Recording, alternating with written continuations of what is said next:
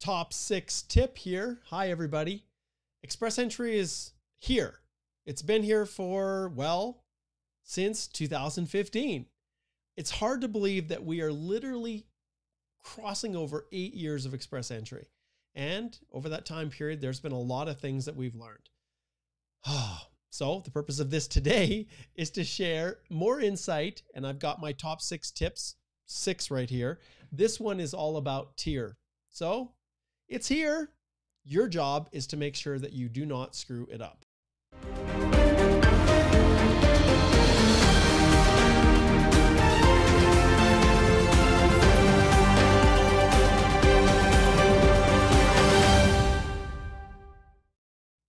So, what do I mean by not screwing it up? Well, number one on our list right here is that you have to understand there's going to be winners and there's going to be losers. Now, if you're one of those individuals that is transitioning between occupations and uh, you are um, you've submitted your application into the pool and it was a four digit NOC 2016 and now it's rolling over to the NOC 2021 understand that yes there are winners and losers and what we have done on the Holthe Immigration Law website is drafted a, po- a, blog post here, and many people are very, very well aware of this. The fact that some occupations that were ineligible before are now eligible.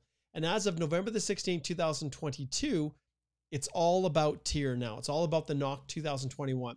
As we scroll down here a little bit farther, we have a list of occupations that will become eligible or that are eligible now.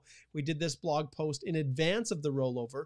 And you can see there's a number on here that weren't previously eligible for express entry that are dental assistants and dental, dental laboratory assistants, nurse aides, pharmacy techs, elementary school teacher assistants, uh, sheriffs. You can see the, the list goes on and on transport truck drivers, bus drivers, heavy equipment operators. So, all of these, yes, they are the winners, but there are some losers here as well.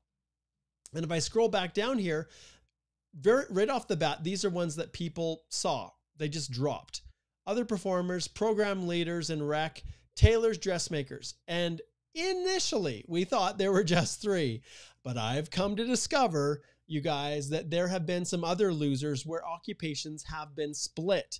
And one of those is this right here agricultural service contractors and uh, farm supervisors. So you can see here, and let me go into this one right here. This was 8252. Remember, a two digit code means that it's skilled. So, agricultural service contractors, farm supervisors, and specialized livestock workers. Well, what happened after uh, 2021? If we flip over here, you will see that no longer are the specialized livestock workers a part of the 2021. And you can see here, I'm on the NOC code for 2021, and it's now 82030 for ag agricultural service contractors and farm supervisors. It's a two-digit code. But if we go over here to specialized the, the specialized livestock workers and farm machinery operators, 84 120, that's TEER four, these guys are no longer eligible. So we used to do tons for this group, including specialized livestock workers, but now they've been demoted. And you have to be aware of this because it is a reality and you may very well be one of the losers. Next on the list right here, occupations may be different. And this is a clear, clear, this is something that's super, super important to realize. And I'm going to flip back here as well. And it just highlights the fact that just because you've got a similar title here, agricultural service contractors, farm supervisors, you have to read carefully because this occupation, you may just flip here and automatically assume that all is bliss and there's no issues. We know that some of the um, uh, IT uh, categories that the, the unit groups and the actual occupations in uh, for IT those have have split into a number of different occupations. And one of the problems with that, you guys, is that when these splits occur and there's this stratification of occupations, it's possible that you, you know, may not have the job description or the duties that actually line up with this new apportionment of that original NOC. So understand that just because the title is the same from the NOC 2016 to the new TEER system 2021, review the duties carefully. And finally, last but not least, as I always indicate, job description is absolutely everything. And when it comes to qualifying through express entry, we don't really care what the title is. It's all about the duties. And so when you're going through here, you will see in this one, you see this here, the 2000 the 2016 four digit code.